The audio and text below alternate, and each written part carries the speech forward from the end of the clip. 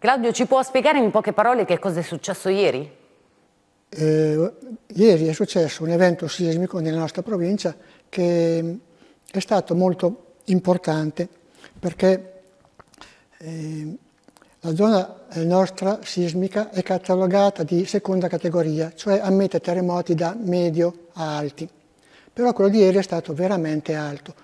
Eh, noi abbiamo fatto uno studio, ma su base statistica, ma non scientifica, che in una zona sismica come la nostra avviene un terremoto grosso ogni 80-100 anni. Se pensiamo che nel 1930 la nostra zona è stata interessata da un terremoto di 5.9, vediamo che dal 1930, sommando 80-90 anni, torniamo ad oggi col terremoto di 5,7. Nelle nostre zone sono stati localizzati dei punti ben precisi?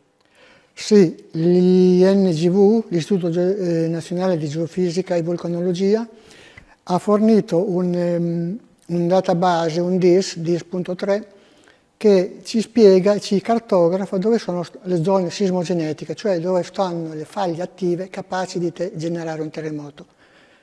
Questo terremoto di ieri è stato generato a una distanza di circa 30 km dalla costa fanese, dalla nostra costa, in una fascia di larghezza di una decina di chilometri, ma come abbiamo visto per gli ipocentri, anche la profondità di questa faglia che si è stirata è, è profonda, una decina di chilometri se non di più, e questo ha generato tanta energia da far tremare anche alcuni palazzi. Insomma.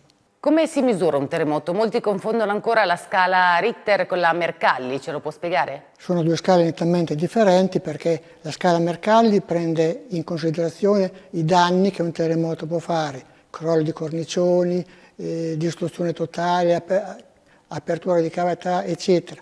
La scala, la scala Richter invece, oggi adottata da tutti, prende in considerazione il parametro fondamentale, cioè l'energia liberata dal terremoto, che è quello che ci interessa.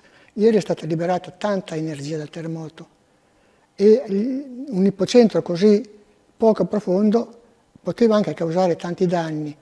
E la conformazione geologica del territorio di Fano ci spiega perché non ne ha causati tanti, perché la scossa, propagandosi in centri concentrici, arrivando alla costa fanese, ha incontrato le alluvioni terrazzate del Metauro, quindi ghiaie e sabbie poco consistenti, di potenza 20 metri o anche 30 metri, che hanno smorzato questa scossa. Dobbiamo convivere con il terremoto? Cosa si può fare ancora?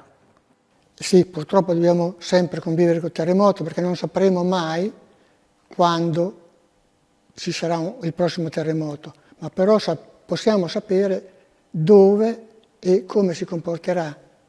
E questo suggerisce il fatto di dover eh, destinare ad ogni area la sua collocazione giusta per costruirci, quindi dobbiamo costruire in modo sicuro prendendo spunto dalle informazioni del terremoto che abbiamo oggi.